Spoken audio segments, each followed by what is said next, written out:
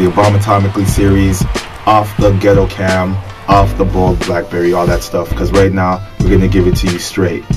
My eyes, my footage, my experience, brought to you Elemental P style. That's what's up. Obamatomically, baby.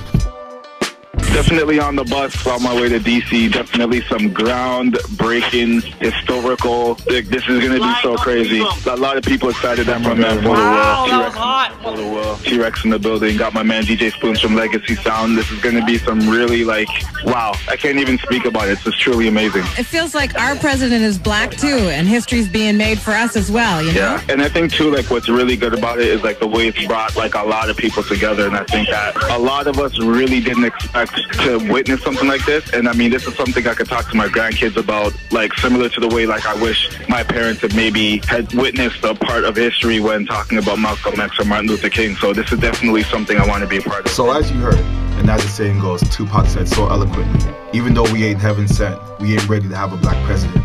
I think going down there really represented that change in hope.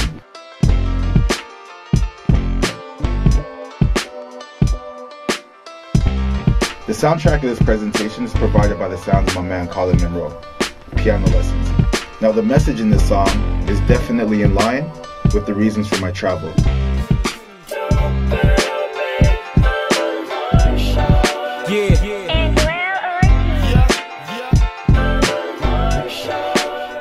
The border, the border, border, the border.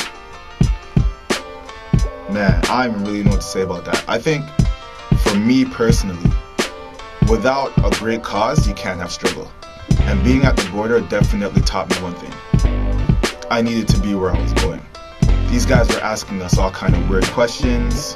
And I mean, you're thinking this is a time for change. This is supposed to be the one time that represents something different than what we've been doing for the past. Here we are thinking, we're going for a time of change. We're gonna see the first black president. Everybody's all happy. And we're stuck at the border on some discrimination stuff, asking people their name, saying where you're from. We are moving away from the things we used to do in the past.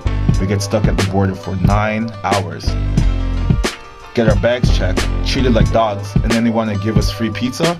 No, not cool. Back on the road again. Okay, so here's what you missed. Okay, so we were stuck in the at the, at the border for eight hours. Shouts out the future.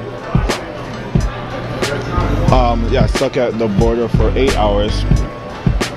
And then what happened was I was around with the camera that I don't know how to use ironically. Hi. What's up? Okay, we're video blogging. How did you enjoy the wait? I didn't enjoy it, but I was patient. Okay, so was I. I wasn't upset at all. I was pretty happy. Yeah, um, I mean the end result is what we're here for, right? But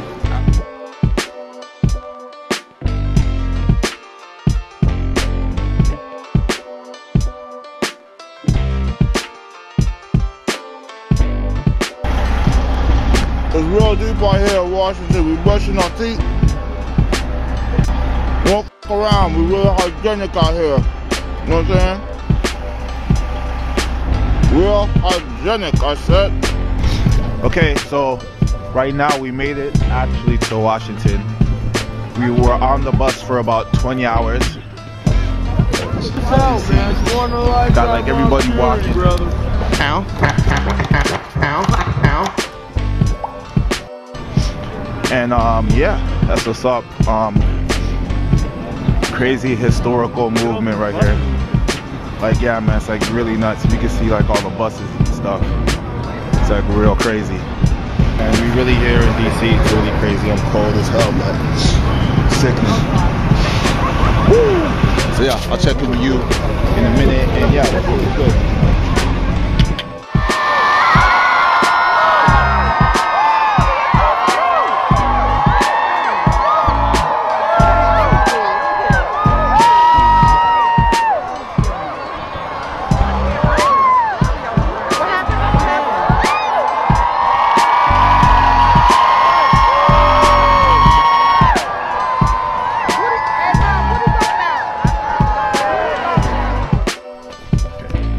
Now, definitely being there, Washington, D.C., all of these people. They say 2.5 million. I say at least 5 million, or at least that's how it felt. The minute this guy came on and said these words,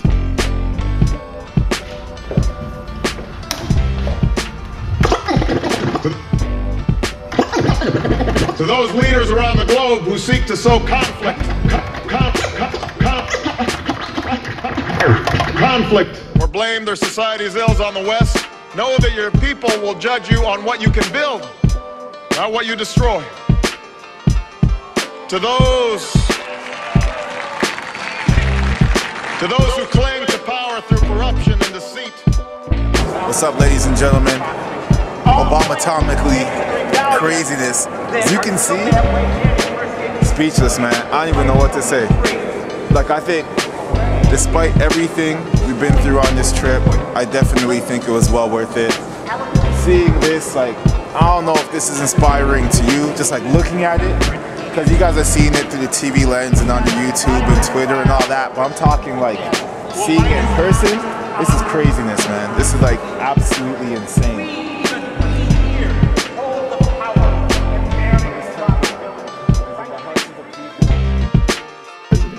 You can't judge a man based on what he is. You have to judge a man based on his actions. And hopefully, one day, hope will really come into reality. Well, I mean, really, for me personally, this trip wasn't even about Barack Obama. It was me really going to see if hope exists. Because in this day and time, you have a megaton of evil and one ounce of good. And just like Colin Munroe said, don't bet on me, I'm a long shot. Because on that bet, it's a million to one. Don't bet on me, I'm a long shot. Because out of the million, I might be the one. So with that said, we're going to see if hope does exist. Because I believe it does.